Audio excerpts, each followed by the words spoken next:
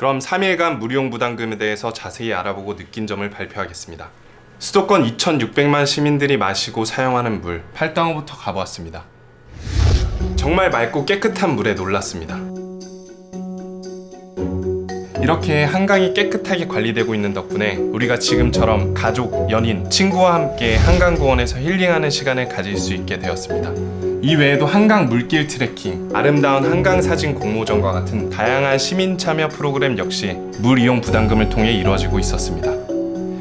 우리가 당연히 누리는 것들에는 당연하지 않은 노력들이 있습니다. 물 이용 부담금이 바로 그런 것이죠. 이 모든 사업에 대해서 자세히 알아보고 나니까 진정한 상생의 의미, 공존의 의미, 그리고 미래를 위한 투자라는 말이 정말 와닿았습니다.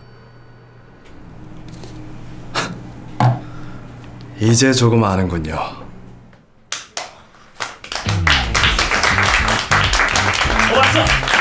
이제부터 황수 씨가 엘리트야!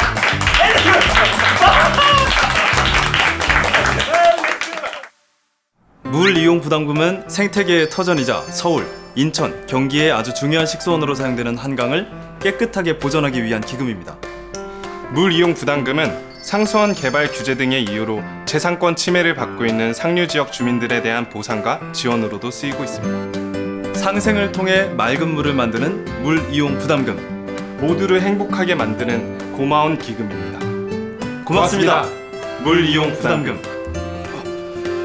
고맙습니다. 물 이용 부담금. 고맙습니다. 물 이용 부담금. 고맙습니다. 물 이용 부담금. 고맙습니다. 물 이용 부담금. 고맙습니다. 물 이용 부담금. 고맙습니다. 물 이용 부담금. 고맙습니다. 물 이용 부담금.